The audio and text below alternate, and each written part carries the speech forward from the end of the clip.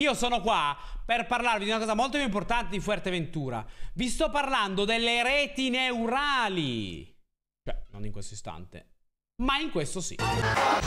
Benvenuti alla seconda parte eh, della, eh, celebre, del celebre format come funzionano le reti neurali. Eh, la mia idea iniziale era quella di fare eh, tutta una presentazione unica, ma ho diciamo, essendo un po' troppo, ho deciso di dividerla in due parti.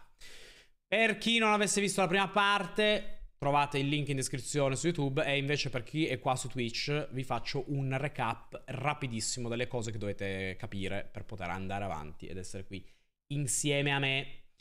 Ieri abbiamo parlato di due concetti fondamentali, ok? Prima di tutto abbiamo introdotto che cos'è una rete neurale, va bene? Una rete neurale è un oggetto fatto così. Questa è la rete neurale più semplice che c'è. La rete neurale in buona sostanza ehm, mangia un input, ok? Gli viene inserito un input numerico, numerico, e tramite delle semplici operazioni algebriche, ok? Come ad esempio queste moltiplicazioni che vediamo qua, eh, produce uno o più numeri in output. Molto semplice. Queste operazioni che accadono all'interno della rete neurale sono condizionate, sono guidate da un, dei valori che si chiamano pesi, ok? Che sono queste W che vedete qua. Quindi l'idea riprende un po' quella del cervello umano, nel quale ci sono dei segnali che vengono propagati all'interno dei neuroni della rete, che sono questi pallini qua, ok? Fino ad arrivare ai pallini finali.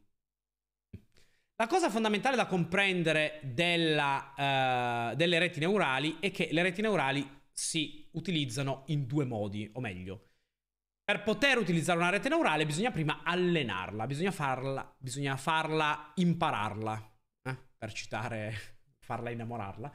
Dovete eh, far imparare alla rete neurale delle cose, le cose che volete risolvere, ok? Quindi voi avete un problema, allenate la vostra rete per risolvere quel determinato problema e poi la utilizzate. Ieri abbiamo fatto un po' di esempi, um, ma sostanzialmente per allenare una rete, prendiamo ad esempio questa rete, che è una rete feed forward, um, che ha l'intento di riconoscere un numero in una foto, ok? Un numero in una foto. Quindi eh, noi abbiamo questa foto di 25 pixel che rappresenta un numero, la diamo, la convertiamo in valori numerici e poi la diamo in pasto alla nostra amica rete. E alla fine la rete ci dirà, beh, questo è un 1, questo è uno 0, questo è un 9. Ripeto, ieri ho spiegato nel dettaglio come accade, oggi non posso più farlo, se no eh, continuo a ripetere sempre le stesse cose. Però la cosa che mi interessa che comprendiate in questo momento è che in fase di apprendimento alla rete vengono dati uh, una, vengono date tante coppie numero e che numero è. Quindi la foto del numero e poi la soluzione. Foto del numero, soluzione. Foto del numero, soluzione. Foto del numero, soluzione. In fase di apprendimento la rete prova a indovinare che numero è e poi avendo la soluzione, se questa è sbagliata, eh, corregge i pesi al suo interno tramite un algoritmo che si chiama backpropagation, corregge i valori al suo interno per far sì di classificare correttamente eh, l'immaginetta che gli abbiamo dato, per far sì di rispondere correttamente all'immagine. La cosa forte è che le reti neurali generalizzano, quindi se tu gli dai tante versioni di uh, numero 3, ok? Tante fotografie, un'angolata diversa, luci diverse, calligrafia diversa, eh, angoli diversi. Comunque la rete è in grado di riconoscere che quello è un 3, perché tu gli dai tanti esempi diversi di 3 e lui e lei sarà in grado di riconoscere uh, appunto che numero è. Però poi abbiamo posto un problema fondamentale ieri. Abbiamo detto, beh, figo, ma uh, non abbiamo detto che le reti neurali trattano numeri? Sì. E allora com'è possibile che le reti neurali che ci sono adesso, tipo GPT, trattino i testi? Il video su YouTube c'è già. Moderatori, se avete voglia di metterlo in chat. Um, come facciamo a trattare testi? Beh, abbiamo introdotto un concetto fondamentale, il concetto di embeddings. Su questo ci abbiamo perso molto tempo, quindi Mm, non posso farvi rivedere tutte, però fondamentalmente che cos'è l'embeddings? Un embedding di una parola è un vettore, cioè una lista di numeri, che identifica quella parola all'interno di uno spazio n dimensionale dove n è la dimensione dei vettori. Ok? Quindi, eh, tipo qua abbiamo cane, gatto, lucertola, coccodrillo. Questi sono identificati da dei vettori. Questi vettori sono calcolabili in tanti modi. Abbiamo visto all'inizio una tecnica molto stupida. Poi abbiamo visto una tecnica che mi sono inventato io. Quindi, diciamo, non c'è... Eh, era solo per farvi vedere cosa avremmo voluto avere. E questa, questi vettori li ottieni eh, in tanti modi possibili. Uno è il Concurrence Matrix e uno dei più diciamo, funzionanti è eh, l'algoritmo di War2Vec, che è stato introdotto nel 2016 da Mikolov. Uh, vi ho spiegato come funziona la rete neurale War2Vec, che è in particolare la versione Skipgram, che vi permette di ottenere gli embeddings. Quindi, al fin della fiera, quello che dovete capire è che gli embeddings sono dei vettori che piazzano le parole all'interno di uno spazio n-dimensionale, ok? E grazie a questo fatto parole vicine, simili, con significati simili con comportamenti simili risultano essere vicine in questo spazio. Parole invece che sono eh, diverse sono distanti o opposte. Questo è un riassunto. Ovviamente se non avete seguito ieri non capirete a fondo quello che ho appena detto, però queste sono le nozioni che ci bastano per poter andare avanti. Sugli embeddings aggiungo ancora che nel tempo ne sono stati fatti tanti perché questi embeddings qua, quelli di Word2Vec, soffrono ancora di problematiche gravi. Ad esempio, eh, non c'è eh, modo di eh, rappresentare la somiglianza sintattica. Cioè la parola per dire car, ok? La parola car è la parola... Cosa è successo? La parola car è la parola cars si assomiglieranno, no? Cioè avranno dei significati simili per, per, il fatto che sono quasi del tutto identiche. Però ci sono anche parole che sono quasi del tutto identiche ma hanno significati diversi. Quindi, uh, oppure ci sono parole identiche che hanno significati diversi. E infatti questo è proprio l'essenza del problema di Word2Vec. Ok? Ossia che Word2Vec soffre di una problematica che si chiama meaning conflation. conflation. Cosa significa? Significa che se una parola ha um, un solo vettore, ok? Questo implica che tutti i significati di quella parola hanno sempre lo stesso vettore. E questo è un problema. Perché noi abbiamo detto che eh, vorremmo che gli embeddings le, rappresentassero le parole stando al loro significato. Giusto? Ma questo è impossibile se i vettori sono tutti uguali. Vi spiego subito che cosa intendo. Uh, prendiamo uh, ad esempio mm, una parola italiana con più significati, che ne so, o anche solo Apple, per dire. Ok? Apple ha tanti significati, no? Due che ci possono venire in mente sono... Mamma mia come scrivo male comunque. Due che ci possono venire in mente sono l'azienda, quindi la mela, morsicata, e la mela vera, giusto? Vabbè, non è che lo distingo moltissimo questo. ok? C'è il brand e c'è il cibo. Eppure Apple, dentro Word2Vec, ha lo stesso vettore, che metterà insieme sia il significato di Apple, sia il significato del frutto.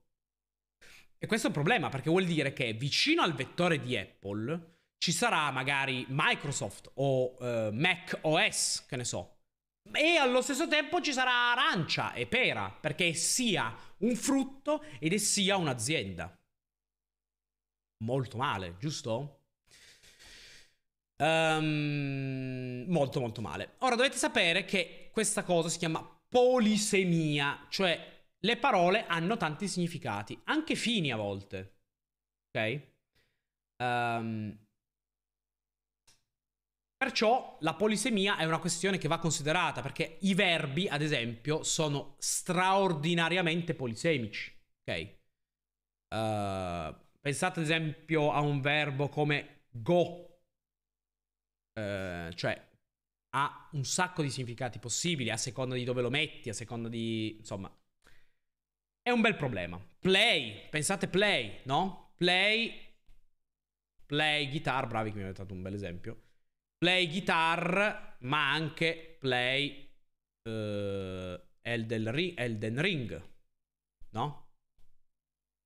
Ma anche play uh, la rappresentazione attoriale. A play è un, uno spettacolo, ok? Perciò Um, vi assicuro che la polisemia è diffusissima nel linguaggio. Perciò questo problema di word to vec Mm, non è bellissimo, non è bellissimo, perché i vettori vengono un po' spostati e mettono insieme tutti i significati. Ci sono stati dei tentativi di fare altri tipi di vettori, tra cui anche uno mio, che si chiama, un set di vettori che si chiama Leslex, ne ho, fa- ne ho pubblicato un articolo, se volete andarvelo a vedere. In quel caso i significati sono dis- disambiguati, cioè ogni significato di una parola ha uno specifico vettore eh, diverso un embedding diverso a sé stante. Ed in effetti su alcuni task quali word similarity eccetera eccetera i miei vettori performano meglio di word to vec. E, eh, e si gode. Comunque, eh, tutte queste cose teniamole in un cassettino perché mentre gli embedding venivano sviluppati sono arrivati noi nell'EP abbiamo discusso di cover Ah, anche cover, un'altra risorsa che ho fatto io. Uh... Boh, comunque, al di là di questo, al di là di questo, um... mentre gli embeddings venivano sviluppati, anche le architetture delle reti neurali sono state migliorate e pensate ad hoc per poter trattare il linguaggio. E qua arriviamo... Oh, spoilers! Arriviamo RNN e LSTM. RNN e LSTM sono difficili, ok? difficili, sono parecchio più difficili delle cose che vi ho spiegato adesso, ok? Perciò ci alziamo un pochettino di livello, ok? Um, L'idea delle RNN è in realtà abbastanza intuitiva. RNN sta per Recurrent Neural Network. L'idea di ricorrenza o ricorsione, diciamo, all'interno del mondo dell'informatica è classica, si sa. Per chi non è invece affamato di queste cose, l'idea semplicemente è che c'è un loop all'interno della rete neurale. La rete neurale non va più in avanti, ma gira su se stessa in un certo senso. Questo lo so che farà male ai vostri cervelli. Ok? Farà soffrire. Grazie Mikolov che si è appena iscritto al canale. Farà soffrire i vostri cervelli, ok? Ma noi cerchiamo di spiegarlo in, maneta, in maniera semplice. Prendiamo questa frase. Il concetto è stato noioso per i primi 15 minuti. Il concerto, scusate, è stato noioso per i primi 15 minuti, ma poi è stato terribilmente eccitante. Se noi guardiamo soltanto alle parole che ci sono qui dentro, ok? La parola noioso e terribilmente lascerebbero immaginare che la cosa è stata spiacevole. Sì, c'è eccitante, però eccitante mm, è soltanto una e soprattutto è al fondo della frase. Quindi Capite come nella lingua sia fondamentale avere traccia di tutta la sequenza per poter comprendere. Immaginate quando voi leggete una frase, non dimenticate quello che c'è prima. Avete bisogno di seguire la sequenza. Avete bisogno di avere un'informazione più potente del contesto, di soltanto che parola ci sta di fianco. Ok?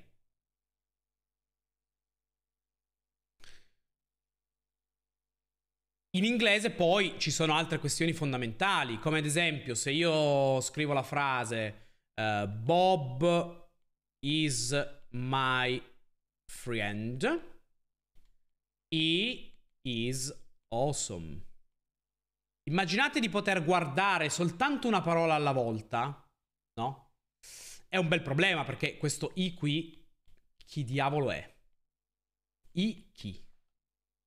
Voi sapete che è i soltanto perché qui c'è Bob. Ok? Perciò, perciò l'introduzione di una nozione di memoria all'interno delle reti è stata rivoluzionaria, straordinariamente utile. Le RNN quindi sono fatte così.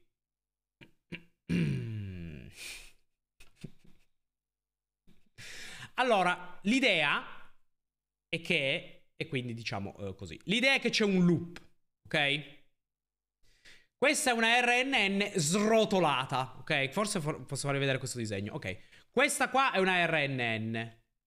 Lo vedete che c'è un loop, ok? C'è un loop, cioè l'informazione, il calcolo che viene fatto quando si processa l'input, tipo la terza parola, dipende da ciò che la rete aveva computato processando la parola numero 2.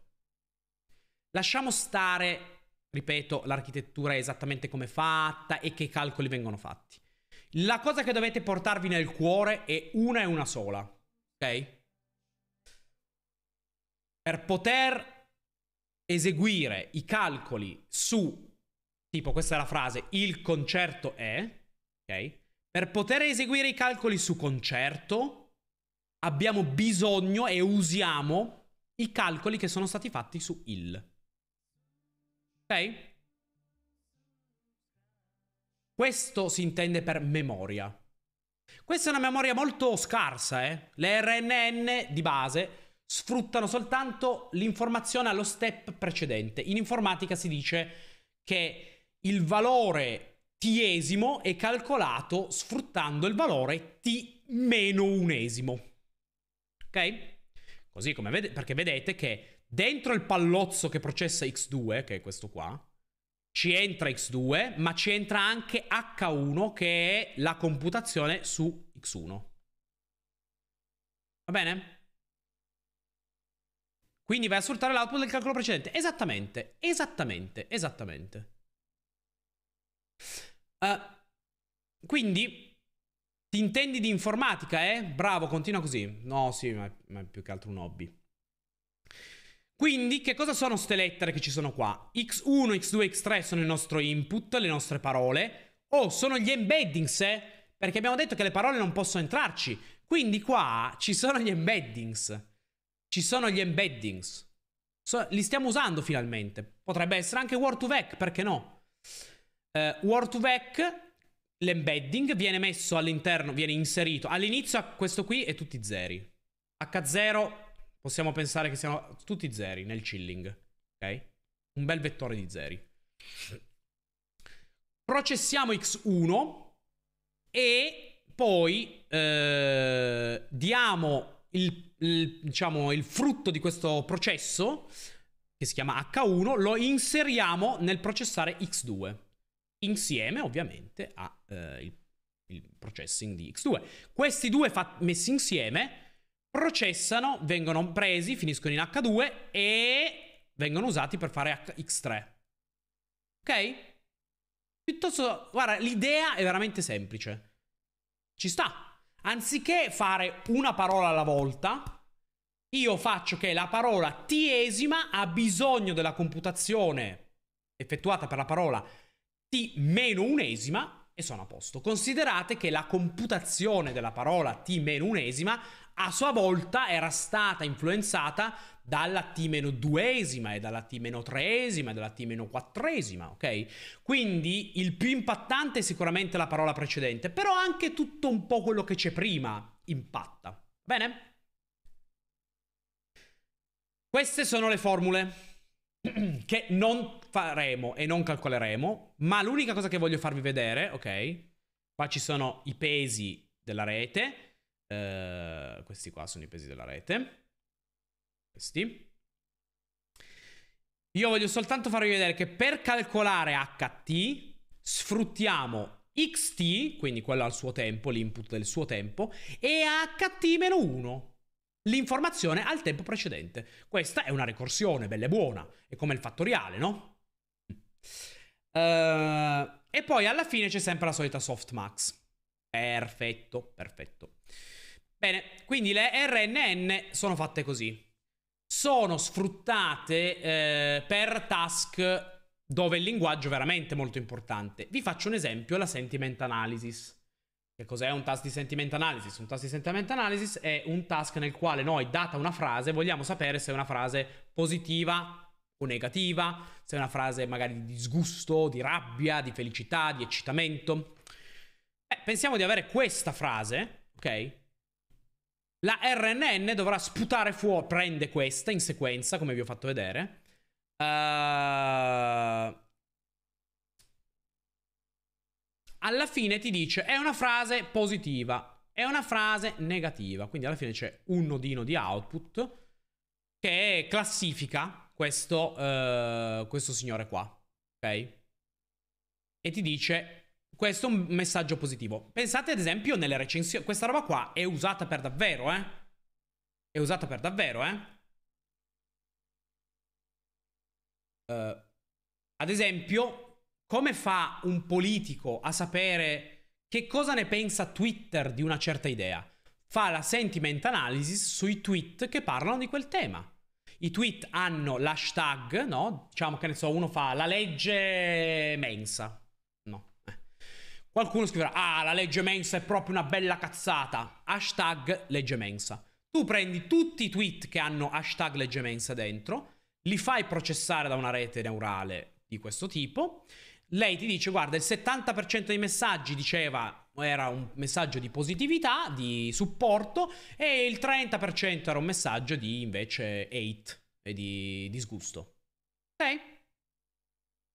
Um, quindi, questo è un esempio di task. La RNN si possono usare per un sacco di altri task. Volevo soltanto darvi un esempio specifico. Ok? Uh, bene. Ma c'è un problema. c'è sempre un problema. Le RNN sono lente. Ok? Sono lente. Sono lente perché? Perché c'è questo problema di ricorrenza, ok? Quindi ci mettono un po' a processare i dati. Moreover, sì, sono, in, sono meglio di eh, ricordare la singola parola ma non ricordano a lungo raggio. Sequenze più lunghe o ca- catene di, di, di frasi sono impossibili per la RNN perché nell'andare avanti, ok, si dimentica inevitabilmente le cose precedenti. Perché si disperde sempre di più l'informazione tipo H1. Perché H1 finisce in H2, che finisce in H3, che finisce in H4. E quindi beh, via via. Plop, plop, plop, Mentre invece nel linguaggio uh, nel linguaggio noi tendiamo a ricordare sequenze molto più lunghe. Immaginate che possiamo leggere tre pagine e avere in testa tutti i riferimenti di quelle pagine. Ok? Perciò, uh, perciò ah, c'era bisogno di qualcosa di meglio. Ok? Ah, scusate, mi sono dimenticato di dire una cosa importante. L'utilizzo degli embeddings qui migliora in generale tutta la computazione perché la rappresentazione delle parole al suo interno già ehm, implementa un concetto di contesto, come abbiamo detto con Word2Vec, no?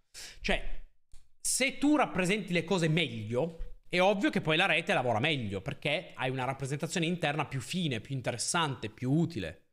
Quindi gli embeddings qua eh, sono... Eh, è importante dargli già degli embeddings buoni, ok? Bene. Le RNN comunque fanno a... fanno a una diretta evoluzione e migliorazione delle RNN sono le LSTM. Siamo sempre più dif- è sempre più difficile, chat. Io non vi dico niente sulle LSTM, vi dico soltanto che al loro interno hanno aggiunto dei pezzi, fermi, fermi, no, non vi buttate, hanno aggiunto dei pezzi che permettono di estendere la memoria, o meglio di regolarla con più precisione, decidendo cosa si dimentica, cosa si ricorda. Ok? Questi tre pezzi si chiamano uh, input gate, forgotten gate e output gate, che sono queste tre porzioni qua rispettivamente. Ok? Let's Marvin Gate and get it on. Queste tre qua. Ok? Il principio è lo stesso. Il principio è lo stesso. È sempre una rete ricorrente la LSTM. Però hanno... riescono a memorizzare di più. Oh. Ok? Tanto non, non entreremo nel dettaglio. La questione è soltanto questo. Ricordatevi, RNN è di base una cosa un po' più semplice. LSTM ne sono un'evoluzione, stanno per Long Short uh, Term um, Memory. E, e, niente, quindi questo è quello che fanno introducendo questi gate. Ok? Um, bene. Ma adesso andiamo alla parte veramente divertente. Perché... Avete visto che c'era già scritto ChatGPT. C'è stata un'idea No, le sigmoidi sono da tutte le parti. Le sigmoidi sono da tutte le parti, non fanno niente di speciale, sono funzioni di attivazione. Um, le LSTM, ok? Al di là di fare meglio quello che facevano le RNN, sono anche, grazie, hanno, grazie al fatto che hanno questa memoria migliorata, sono ottime per implementare reti di tipo sequence to sequence. Quindi nuovo Nuovo gradino, sequence to sequence. Questo lo dovete capire bene, ok? Uh, i, i, fattori di dimenticaggio e apprendaggio sono tutti regolati dai parametri, ok? Quindi fidatevi di me. Non è importante. È importante quello che vi dico adesso.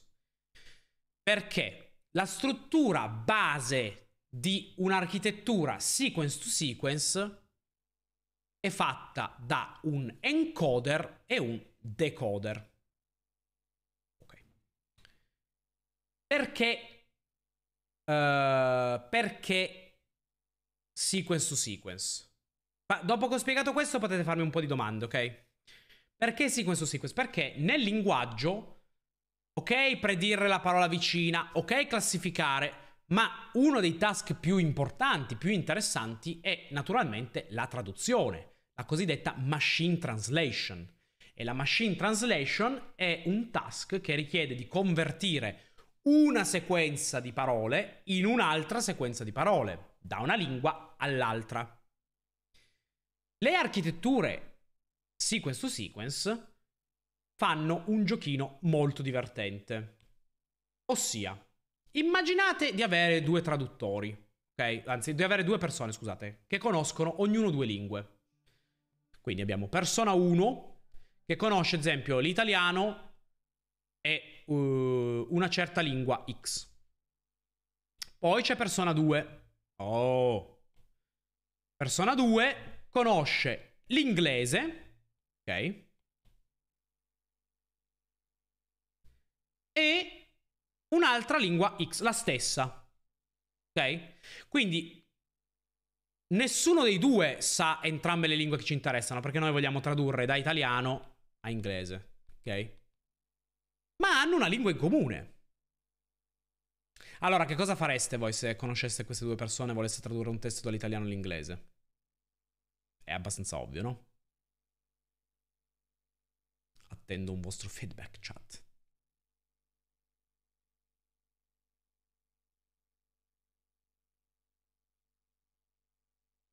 Glielo farei tradurre. Ok, esatto, da italiano a inglese. X è una lingua vera, eh, diciamo, che ne so, il francese.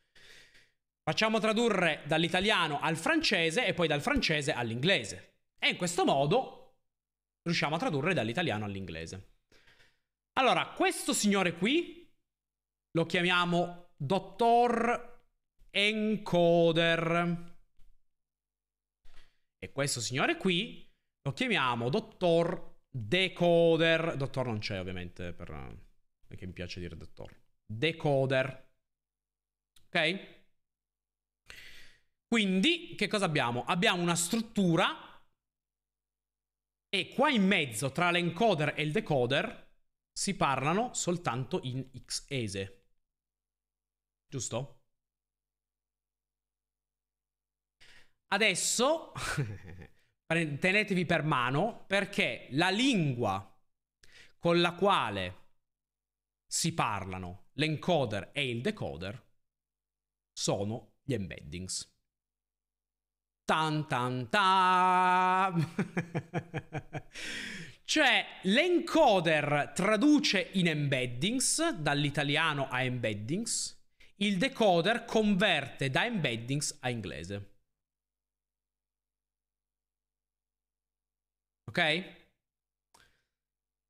Perciò non resta che trovare qualcuno che abbia un sistema, un algoritmo che abbia abbastanza memoria per produrre dei buoni embeddings come encoder e che abbia abbastanza memoria per riconvertire, diciamo, gli embeddings dall'altra parte. E sono le nostre LSTM. Attenzione, non sono singole LSTM, sono blocchi di LSTM. Qua veramente le architetture si fanno complicate, quindi lasciamo stare esattamente cosa c'è dentro. Quello che però dovete capire, che è importante, è che l'encoder, che è questo qui, prende le frasi in italiano, viene allenato proprio da tradurre dall'italiano all'encoder, diciamo, eh, scusate, dall'italiano all'embedding, e la, il decoder è abituato a riconvertire a partire da un embedding a generare la frase, diciamo, eh, tradotta. Ok? Qua dentro i due si passano gli internal states prima, del primo blocco di LSTM. Gli stati interni, diciamo che sono degli embedding, gli stati interni del, dell'encoding, dell'encoder vengono passati al decoder che inizia a produrre la frase. Quindi inizierà con the, poi the weather is nice, una roba del genere. Vedete che stiamo iniziando ad arrivare, ci stiamo avvicinando a GPT, eh? Lo annusate? Questa, questo giochino qua di partire da qualcosa e poi generare quella dopo, e poi quella dopo, e poi quella dopo. E o non è quello che fa GPT, lo vedete quando scrive, no? Ci stiamo arrivando, pian pianino ci stiamo avvicinando, ok? Come mai ha tradotto weather e non time? Perché le informazioni non sono in ordine. Non sono in ordine. Vengono tutte mh, mm, sintetizzate negli stati interni e dall'altra parte questo decoder è stato allenato a parlare in inglese. Perciò non dirà mai uh, is nice the weather, perché in inglese l'ordinamento è diverso. Ok?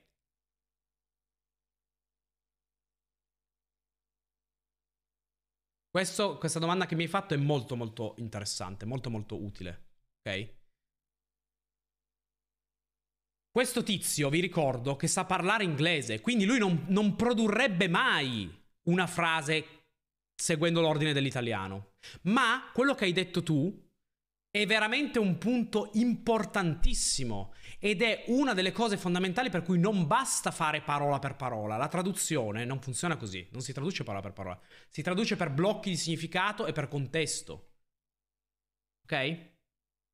Per i modi di dire cosa succede? I modi di dire infatti sono gli idiomi, sono bastardi da tradurre e anche l'ironia, ad esempio, è difficile da tradurre. Ci sono molte cose che sono difficili da tradurre in linguaggio. Io la sto facendo tutta semplice, ma il linguaggio è veramente estremamente complesso. Ok? Uh, bene. L'idea è che l'encoder traduce in italiano a embedding, poi il decoder da embedding a inglese, predicendo il prossimo carattere via via. Qua dentro ci sono NLSTM, non è una, sono dei blocchi. Va bene? L'ultima cosa che vi devo dire però è questa. E qua arriva il sacro graal di questo settore. Preparatevi perché ne leggete, se ne parla.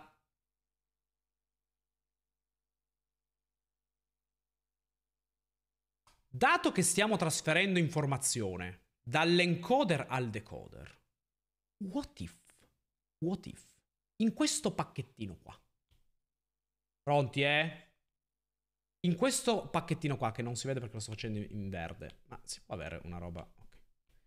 Se in questo pacchettino qua io ci mettessi altra roba... Mm. Ad esempio, immaginate che il nostro amico P1, quando parla con la P2, con il P2, scusate, quando parla col signor P2, ok?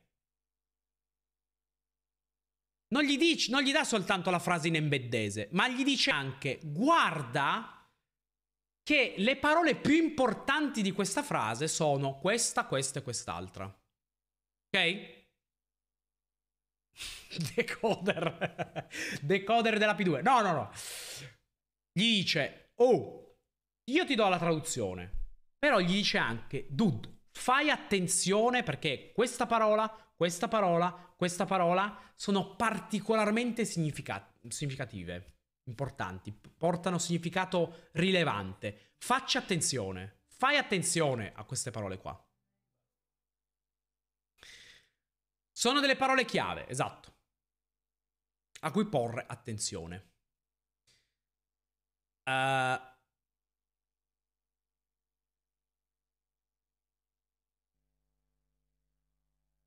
questo concetto si chiama meccanismo di attention. Ok?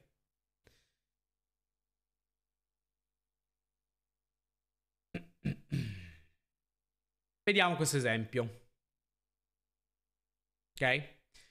Abbiamo una frase in francese, la vogliamo tradurre in inglese. L'accord sur la zone économique européenne a été signé en août 80 qualcosa che non li so fare i numeri in francese. 80, 80, 80. Quelli parlano tutti così a somme. Vi faccio notare una cosa molto importante, ok? In francese, Zone Economique Européenne. In inglese, European Economic Area. Sono in ordine diverso. Zone è qua. Eh, scegliessi in colore che si vede, però sarebbe meglio. Zone è finito qua. Economic è rimasto in mezzo. European è finito qua. Vedete che hanno cambiato di ordine? Infatti, questo disegnino, praticamente più è chiaro il quadratino di, di incrocio, tipo tra Europen e European, ok? Più dovete po- più la, uh, la, l'encoder dice al decoder fai attenzione perché questa parola qua è quella su cui devi fare attenzione quando cerchi di tradurre European, ok? Però, mentre traduce uh, European, fa attenzione, ok, anche a economic. Così, che, così come quando traduce zone, cioè area, fa attenzione anche a economic. Vedete? L'idea è che tramite, oh oh, tramite questo passaggio di um, questo ulteriore pacchettino, questo dossier che viene consegnato dall'encoder al decoder, il decoder sa fare meglio il suo lavoro, si concentra meglio su determinate parti. Diciamo che pesa al suo interno diversamente la competizione, eh, la competizione, la, la, i collegamenti, ok? Questo meccanismo si chiama attention. Non ve lo spiegherò in maniera più, più precisa di così. Sappiate che questa è l'idea dell'attenzione. Va bene? Ok. Avete domande? Perché poi arriviamo alla fine. I Transformers, che sono... Cioè GPT è un Transformer. Avete domande? Se ho due culture differenti che considerano un certo evento in modo diverso, uh, in questo caso la traduzione per embedding sarà corretta? Mm, non ha mo molto senso la tua domanda. È ovvio che nella traduzione ci sono delle cose molto sottili che non è detto vengano colte dall'embedding. Ecco, se, non so se rispondo, ma non è detto. La qualità di una traduzione dipende da tante cose. Per fare sentiment analysis è meglio usare questo genere di reti o tecniche basate sui dizionari? Questo genere di reti. ampiamente. Nel passaggio di prima non ho capito come viene predetto il segmento successivo. Eh, il decoder, ok, utilizza l'informazione che gli ha dato l'encoder più la parola che ha appena generato. Ok? Quindi all'inizio utilizza soltanto l'informazione che gli dà l'STM per iniziare, quindi the? E poi lui cerca di trovare la prossima parola sensata, in realtà il prossimo carattere sensato, dipende, però la prossima parola sensata, pensiamolo come parole, la prossima parola sensata che, diciamo, sia una traduzione, quindi rispetta questa roba qua, ma contemporaneamente sia coerente con the. E grazie al meccanismo dell'attenzione, tra le varie cose che guarda c'è anche, mm, ma qua, devo, quanta, su cosa devo fare attenzione quando faccio, quando genero la, la, la prossima. Ok? Una roba del genere. In che linguaggio sono scritte queste robe? Irrilevante. Python, eh, C, immagino.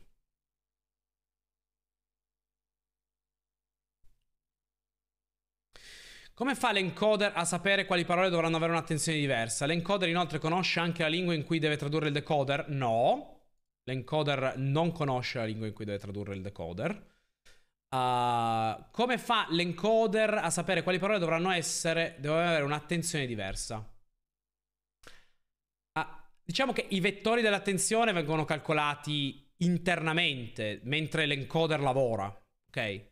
Quindi derivano da, a loro volta dagli embeddings di input. Tu l'attenzione non è che la fai tu a mano, ok? Ma è una derivazione del, del lavoro dell'encoder. Quindi in teoria, scrivendo le frasi semanticamente al contrario, si potrebbe rompere questo sistema, cioè scrivendo una frase all'ultima alla prima parola in ordine semantico. Non ho capito che cosa intendi. Considerate che io ve ne sto spiegando comunque una versione molto ridotta, cioè poi i sistemi sono più flessibili di quello che vi dico e sono più complicati e ce ne sono tanti, diversi. Quindi tutto quello che abbiamo visto deriverebbe da quello che aveva già fatto il Google Motore ricercatore Translate amplificato al 1000%. Beh, queste cose penso sono adottate da Google, sì. Come viene gestito l'errore? GPT riesce a interpretare bene anche parole scritte male. C'è un passaggio intermedio dell'encoder di correzione dell'input? No. Uh, diciamo che la rappresentazione del linguaggio all'interno di questi modelli è così astratta da, uh, è così diciamo astratta e generale da sostanzialmente ignorare il problema dei, dei misspell, cioè parole che sono scritte un po' diverse ma che hanno identico contesto rispetto a quella che è, cioè quella scritta giusta, ok? Diciamo che pizza e pizza hanno lo stesso contesto, quindi dato il contesto, dato che quello è pizza, beh, sarà pizza, ok? Uh, esattamente come facciamo noi umani, tra l'altro. Questa cosa del contesto è fondamentale. No, se inverti l'ordine, cioè se, se, tu inverti l'ordine, ovviamente il sistema soffre perché le frasi non sono più nell'ordine in cui dovevano essere, no? Se sbagli a scrivere capisce l'errore volendo. La parola capisce è pericolosa.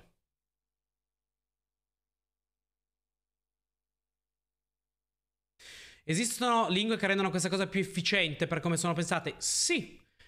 Le lingue sono, eh, non sono tutte uguali tradurre da una lingua ad un'altra può essere più difficile che da quella stessa lingua ad un'altra ancora. Dipende. Ling- ci sono lingue più vicine, pensate allo spagnolo e all'italiano, oppure dallo spagnolo al cirillico. Molto diverso, no? O il giapponese.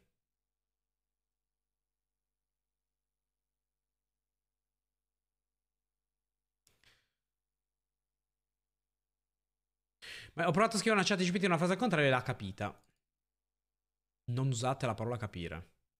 Non capisce niente.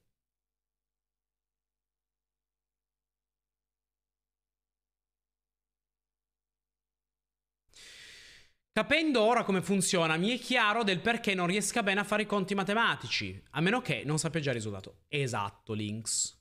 Ma questo è il blocco finale. Il tema del ragionamento su GPT, ci faremo una live apposta su quello. Perché GPT non ragiona, non ha Non ragio- lo vedete, vedete il ragionamento qua dentro. Io vedo solo pattern. Propagazione sofisticatissima di pattern. Non c'è ragionamento. Lui non... GPT non dice, ah, questo è il verbo, questo è il complemento oggetto. Non fa niente di tutto il del genere. Oh, poi può anche essere che non sia utile.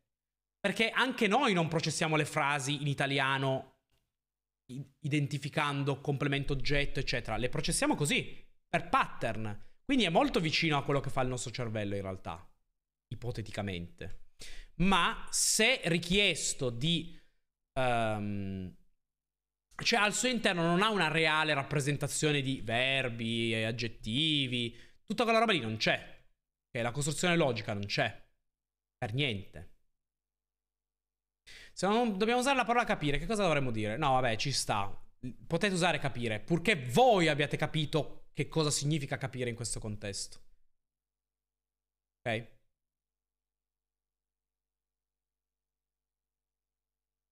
Interpreta, interpreta va bene. Una cosa che non ho capito è come suggerisce gli articoli da cui prende le fonti. Facendo diverse prove ho notato che si inventa i nomi di sana pianta. Eh. Fra. No, con calma. Quello è GPT. Questo non è ancora GPT. Questi sono i modelli sequence to sequence. Facciamo il salto, arriviamo ai Transformers. Poi comunque su GPT faremo una live apposta. Cioè due ore solo di GPT. Quindi cerchiamo di tenere le cose ancora un po' divise.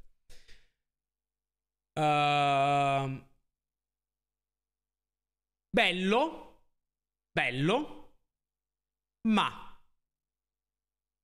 io avevo detto che le RNN erano lente. Le LSTM sono lente, quindi. Qui ci sono dei pacchettoni di LSTM. Due pure. Insomma, questi modelli sono lenti, ma lenti per davvero. E poi le LSTM è vero che sono meglio delle RNN a memorizzare, ma comunque non riescono a memorizzare sequenze indefinite, ok? Dopo un po' si perdono. Tra l'altro la cosa del perdersi, la... anche GPT ce l'ha ancora. Cioè, lo vedete che dopo un po' non riesce più a... non si ricorda più da dove era partito, ok? E allora qui arriviamo alla vera ultima rivoluzione. Questo giochettino dell'attenzione è l'essenza dell'ultimo modello che c'è adesso, che sono i Transformers. Quelli che hanno fatto i Transformers hanno detto, sai cosa? Fanculo alle reti ricorrenti, non le usiamo più. Usiamo soltanto, soltanto l'attenzione. On steroids, ok? No, ho sbagliato, non è anche qua. Eh sì. Il meccanismo dell'attenzione è così potente che uh, può sostituire l'intera questione della memoria. Cioè, i Transformers non hanno memoria, non funzionano come le RNN ma sono dei modelli sequence to sequence, quindi rispettano quella dualità encoder-decoder, ecco lo so, qua, qua ci sono le cose brutte per davvero, rispettano quella struttura encoder-decoder, viene preservata, ok? Ma al loro interno non ci sono più reti ricorrenti. Vedete reti ricorrenti qua? No, no, no. C'è attention, masked attention, Feed forward, che sono quelle là vecchie, cioè softmax, ci sono un sacco di cose che avete visto in giro, ma non ci sono più le RNN. Né le LSTM. Ok? No, no, transform- si chiamano proprio reti transformers queste. Perché trans- trasformano da, tramite encoder e decoder. Adesso qui ragazzi, entrare nel dettaglio di questo veramente si fa doloroso. Però almeno una cosa voglio dirvela. Io prima vi avevo detto che è importante la sequenza, giusto? È importante la sequenza, cioè... Eh, eh, se no, io, nella lingua è fondamentale l'ordine delle parole, siete d'accordo, giusto? Uh, Quindi togliere le reti ricorrenti e, e la sequenza accadeva grazie alla memoria. Allora, se togliamo la memoria, come facciamo? Siamo... Uh, siamo fottuti. Siamo completamente fottuti. Non siamo fottuti. Perché, guardate qua, ci sono degli altri embedding. A questo punto gli embeddings avete capito che sono il modo di comunicare interno di una rete. Vengono prodotti dei cosiddetti positional encoding ok? Dei, eh, positional embeddings, scusate, che sono fatti da una fase di positional encoding, che anche questi codificano l'ordine delle parole, ok? Anziché utilizzare la memoria. E questo sblocca una cosa fondamentale dei transformers, ossia sono parallelizzabili. L'esecuzione di un transformer non è in sequenza, perché capite bene che in questi signori qua tutto deve essere fatto in sequenza, dal primo all'ultimo passo. Zero parallelizzazione. Questi dottori qui invece sono parallelizzabili. Una volta che abbiamo la nozione di, ehm, di dove sono messe le parole in un embedding, possiamo far girare contemporaneamente su grossi blocchi di testo tutta l'architettura. Qua siamo veramente a delle cose complicate, ma non importa, ok? Le cose che dovete capire è che i transformers fanno 1. Tolgono le LSTM o qualunque sistema ricorrente.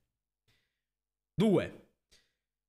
Utilizzano positional encodings per avere l'informazione posizionale delle frasi e eh, quindi riuscire, diciamo, sostituiscono la memoria con questo meccanismo. 3. Aggiungono un nuovo modo di utilizzare la attention, il meccanismo dell'attenzione, che anche questo contribuisce a sostituire il problema della memoria, la questione della memoria e in particolare utilizzano una cosa che si chiama self-attention. L'attenzione di prima, ok, guidava le parole in output rispetto alle parole in input. La self-attention invece è un'attenzione delle parole in input rispetto alle parole in input, cioè rispetto a loro stesse. Questo fa sì che una parola, diciamo, venga catturato in maniera molto più profonda che cos'è il contesto di quella parola. Vi faccio subito un esempio, perché questa è una parte fondamentale. Dov'è? Oh, un esempio. Un esempio. Vabbè, diciamo... Diciamo... Ok, vi faccio un esempio per capire questa cosa qua. Uh, il mio cane è bello. Il mio prof è un cane. Ma anche ieri sono andato... Scusate, questo lo devo fare in inglese. Non ha senso. Uh, Yesterday I've seen an Apple keynote. I love eating apples. Ok? Dunque, capite bene che il significato di cane e il significato di Apple qui sono in, in entrambi i casi sono due significati diversi, no?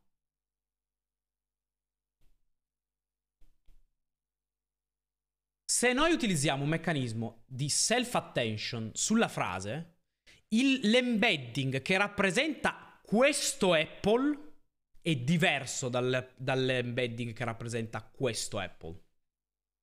E anche l'embedding che rappresenta questo cane è diverso dall'embedding che rappresenta questo cane. Saranno sempre degli embedding di cane e di Apple, ok? Quindi non è che varieranno completamente, ma questi sono dei nuovi tipi di embedding, si chiamano embeddings contestuali, che sbloccano una abilità, eh, diciamo, non so anche come dirvelo, sono straordinariamente più potenti di War to Back. Perché io ve l'avevo detto prima. Ve l'avevo detto prima, vi avevo detto, guardate che Word2Vec soffre di meaning conflation. Cioè, lo stesso qua, con Word2Vec, è lo stesso vettore questo qui. Non può essere lo stesso vettore. Lo vedete benissimo che sono due frasi completamente diverse. Il significato è completamente diverso. E quindi, grazie ai vettori contestuali, che sono, diciamo, powerati, powered by eh, la self-attention, siamo in grado di fare dei, lav- dei lavori molto, molto più fini sul linguaggio. Ok? No, li produce la rete stessa questi, li produce la rete stessa. Si risolve il problema esatto di polisemia che dicevamo prima. Molto bene, molto bravi, molto bravi. Bravi. Vedo pochi che scrivono, ma vi vedo, lo so, queste sono cose veramente tanto difficili, ok? Cioè io non vi mentirò, non è che io sappia riprodurvi esattamente tutto quello che succede qua dentro, ok? Poi queste cose qua alla fine la maggior parte delle persone le usa, non le ho fatte io, ne comprendo le, le, le, migliorie, il significato profondo, ma la parte tecnica tecnica, boh, tanto quando, cioè voi per usare una rete, rete così, poi alla fine fate Bert.give me the thing, ok? Non è che... Sono molto, molto, molto, molto, molto più facili da usare. Infinitamente più facili da usare che da capire. È per questo che io ve le spiego. Cioè, se avessi fatto. E tra l'altro, se avessi fatto una live dove aprivo un terminale e vi facevo vedere queste cose qua, era pure. Cioè, eh, attirava pure più gente. Ma avrei soltanto, ancora una volta, spinto una questione di. Ah, le intelligenze artificiali. Invece, no. Io voglio farvi vedere che cosa c'è dentro, perché così potete capire più profondamente. Eh, come mai si comportano come si comportano. Comunque, comunque, poi se volete facciamo anche la live dove vi faccio, pastrocchiamo, però almeno avete delle basi, ok?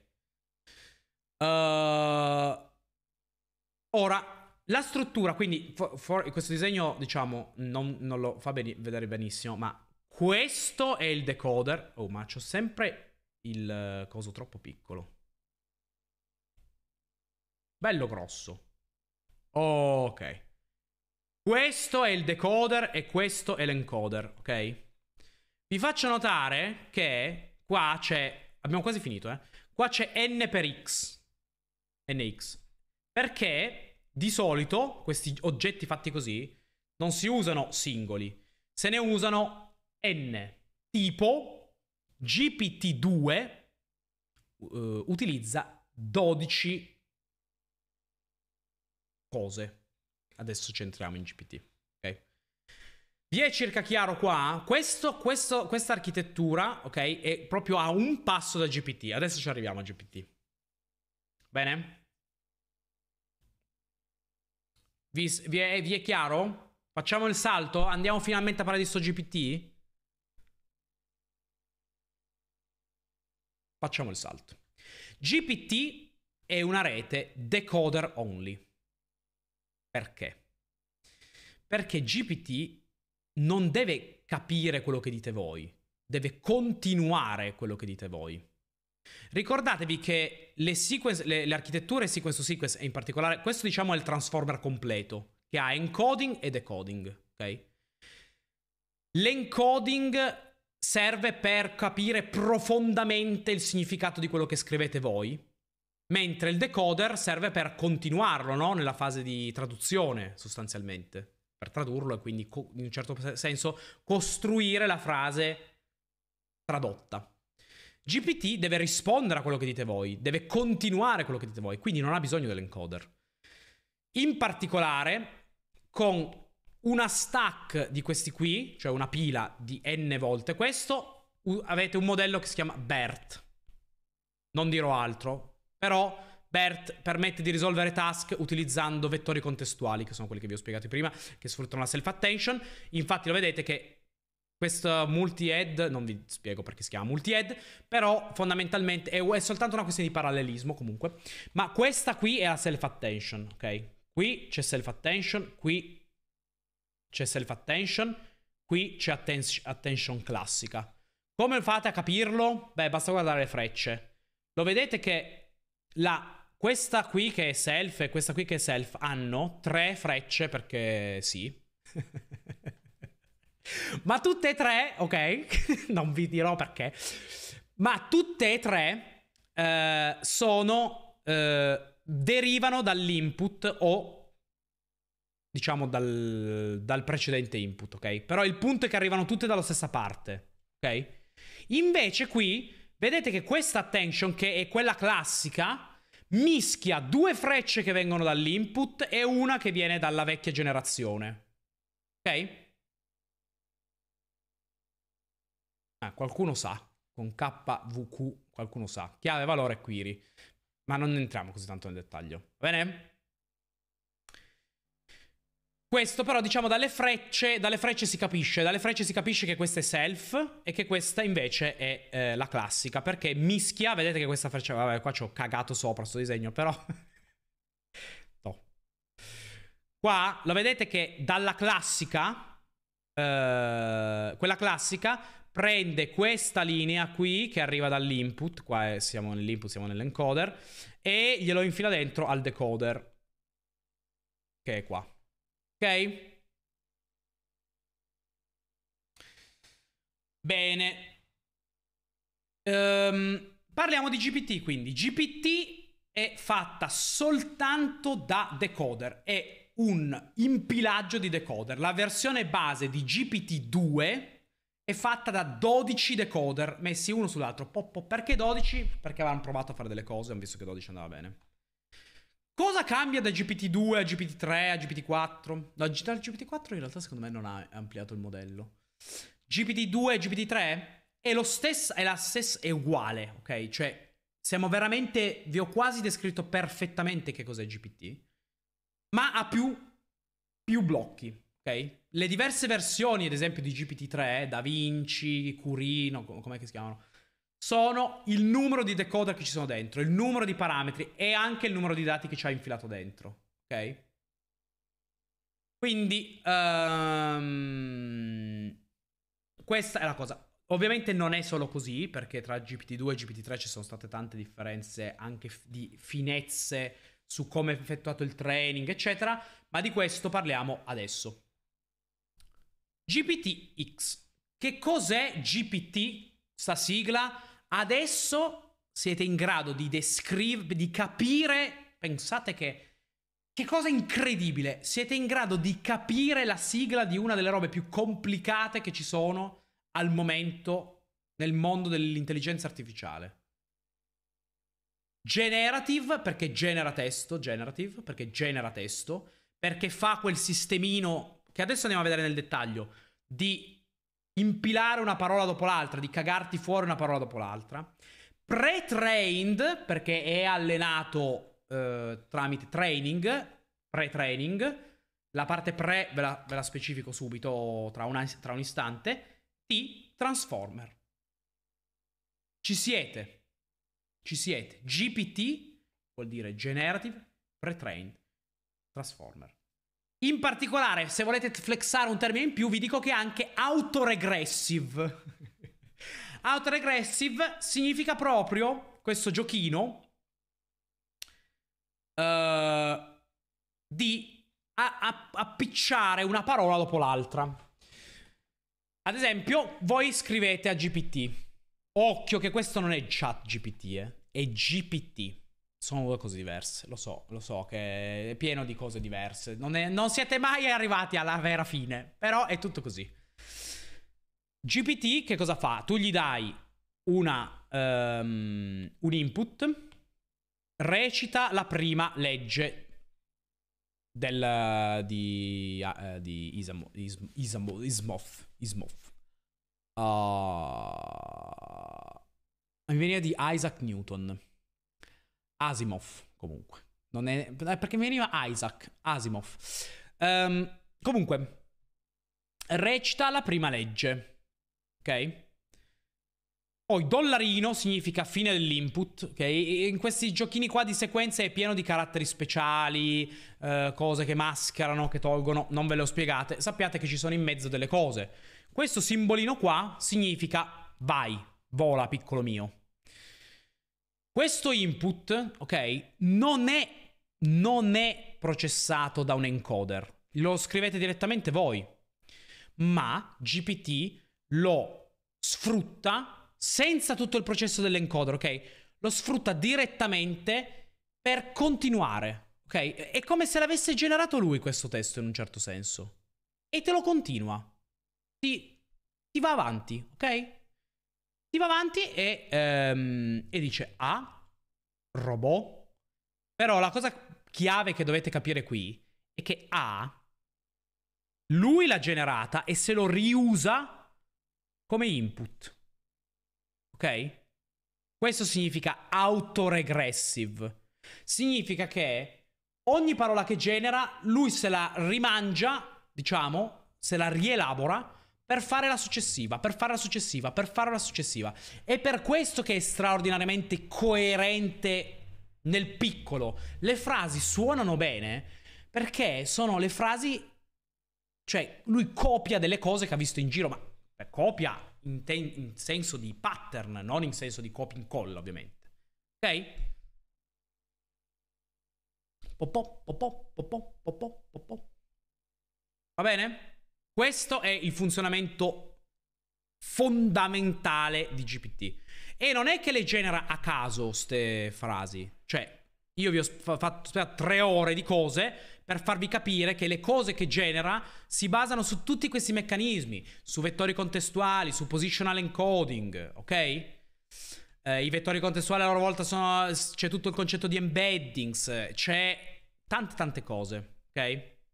Però questo è il suo funzionamento. Questa è la base fondamentale di GPT. Autoregressive sta per questo.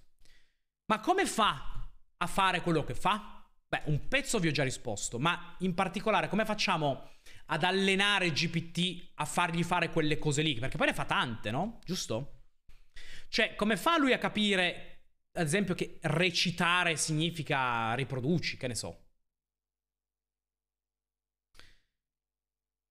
Entriamo nella fase di training. Nella di, nella fase di training noi prendiamo... La fase di training è fatta di tre fasi. Ah, so. Uno, unsupervised training. L'abbiamo spiegato che cosa significa unsupervised. Significa io gli metto dentro uno sfacelo di testi, ok? E basta. E faccio girare. E questo, diciamo, immaginatelo che aff- affini i vettori contestuali all'interno e tutta la sua rappresentazione interna del linguaggio. Ok? Poi facciamo supervised fine tuning. Supervised fine tuning significa fare una roba fatta così. Io voglio insegnare, in realtà, scusate, già nell'unsupervised training noi lo, lo addestriamo a rispondere in maniera sensata ad alcuni dei nostri task. Ok? Um, tipo, how are you? E poi dopo ci mettiamo la frase tradotta. Ok? Mettiamo un tag speciale. Mettiamo un tag speciale. Ok? Questo tag speciale vuol dire che dopo c'è la traduzione. In, in, training noi gli diamo questo, gli diamo frasi in italiano, tag speciale, frasi in francese. Glielo dai, glielo dai, glielo dai, glielo dai, glielo dai, glielo dai. Gliene dai tante, ok? Oppure possiamo fare summarization, cioè il task di riassumere testi. Come facciamo? Facilissimo. Abbiamo un intero database di, sum di summarizzazioni. Si chiama Wikipedia. Questo è l'articolo, questo è il sommario. Prendiamo l'articolo, gli mettiamo in mezzo un task summarize e poi ci schiaffiamo il sommario dopo. Boom, fatto. Ecco il nostro training set. E ancora lo alleni a fare questo giochetto qua. Ok? Tutta questa roba qui, eh, diciamo, rientra nel supervised fine tuning. Dipende, un po' è supervised, un po' è unsupervised. Ad esempio, se noi vogliamo allenarlo a fare sentiment analysis, come dicevamo prima, bisogna dargli un po' di robe che hanno annotato degli umani, ok? Uh, bene. Infine, task specific input transformation. Alcuni task, appunto, sono troppo complessi per essere scritti soltanto così, quindi bisogna un po' trasformarli, renderli linguaggio naturale e poi gli si danno anche qua gli esempi. Va bene? E veramente questo qua, lo vedete che è 12 per. Questi sono 12 encoder, esattamente come vi avevo fatto vedere prima. Soltanto l'encoder. Ok?